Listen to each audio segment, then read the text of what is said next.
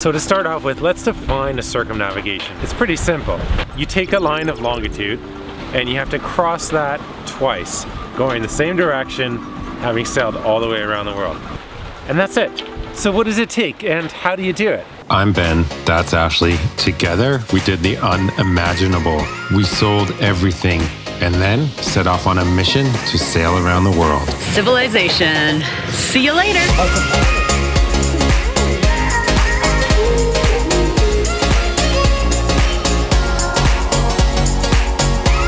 28 countries later and over 25,000 nautical miles, we are only halfway around the world. I have no idea what's going to happen. Subscribe to follow the adventure as we finish this lap. So we're in the trade winds right now. We're just south of the equator in Indonesia, heading to Borneo, and it's gorgeous. It's 10 to 20 knots. We're going downwind. It's warm. This is where we like to stay. This is our preferred way of sailing around the world. Whoa, we're going fast right now.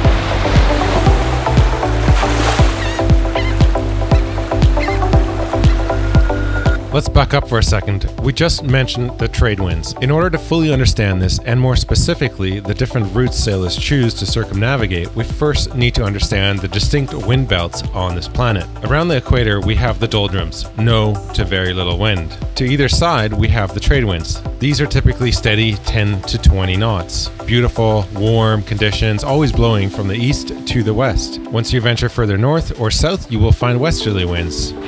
But there's a small problem with the trade wind belts, and that's something called hurricanes. You see, hurricanes are the same thing as typhoons, as cyclones, and each region of the earth has its own season for these cyclones, typhoons. When the Earth's axis shifts, it creates summer on one side of the equator, and as a result, that trade wind belt region will heat up and start spawning these tropical storms. There's a total of seven cyclone regions around the world, each defined by a season, which tends to peak in late summer. There's the Atlantic hurricane season, Eastern Pacific hurricane season, Northwest Pacific typhoon season, the North Indian cyclone season. Now, on either side of the equator, they spin in different directions, but other than that, there's not much difference. Southwest and Southeast Indian Ocean cyclone seasons, and finally, the Southwest Pacific cyclone season. And that basically dictates where we go and when we go,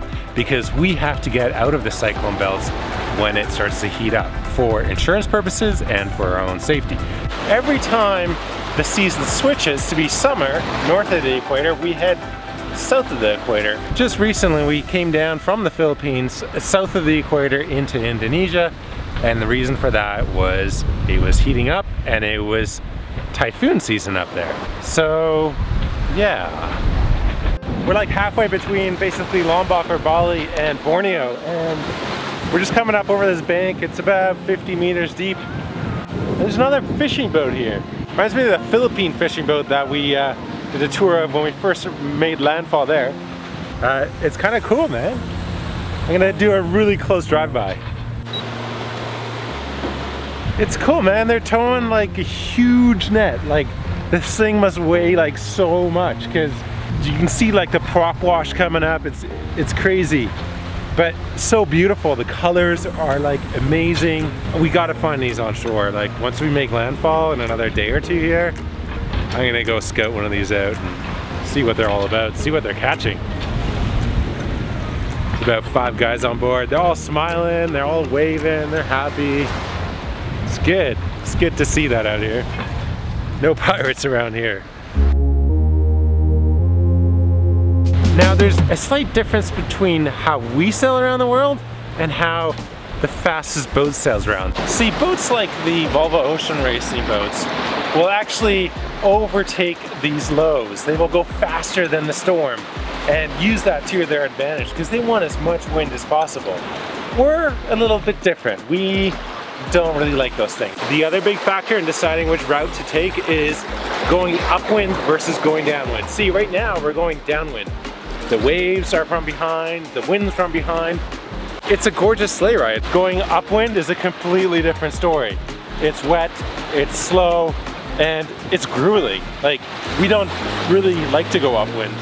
Given all these factors, we sail westward, mostly inside the trade wind belt. We pull over as often as possible, experience as many new cultures along the way, discover different ways of life. It's a pretty sweet way to travel the world. Just sail your house from one country to the next. Spinnaker up. It's uh, it's about 15 knots. It's not too windy, but uh, we're flying, man. It's awesome. Check this thing out.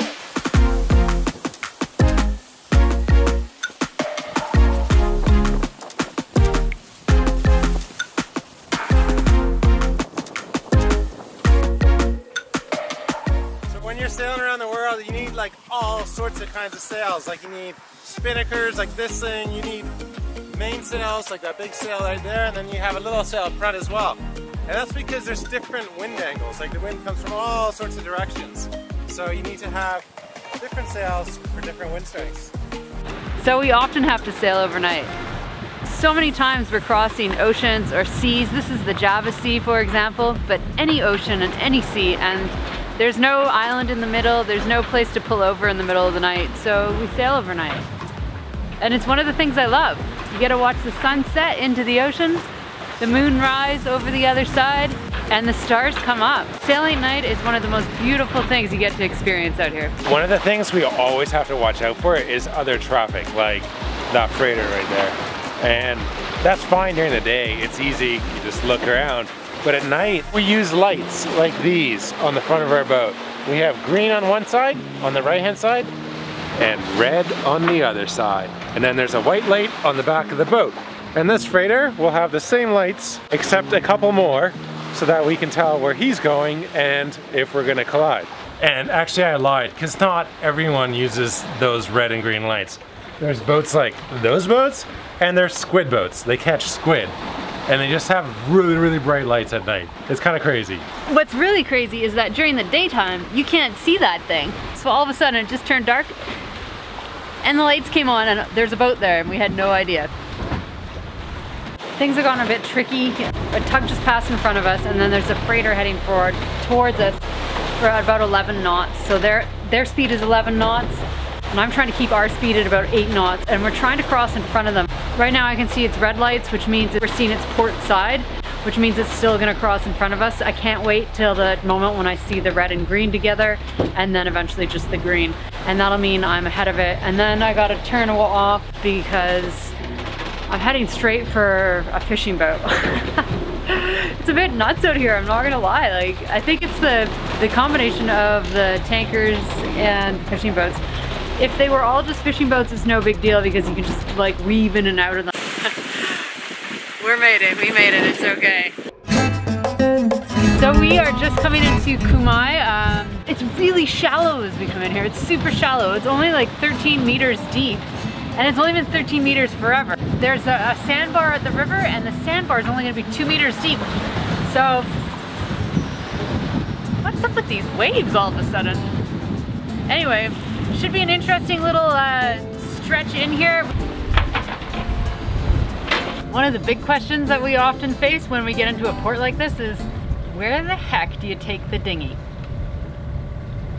I have no idea. Kumai is a crazy place. There's all of these concrete buildings. They look like jails, but they're actually just bird houses. They're huge bird high rises. They're for the swiftlets, and the swiftlets uh, make these little nests that are a delicacy in China. So they export them from here. It's crazy. You know what's crazy about the swiftlets though? They make the nests from their spit. And that's what makes the nest so good. And then it makes like a jelly soup. I don't know, man.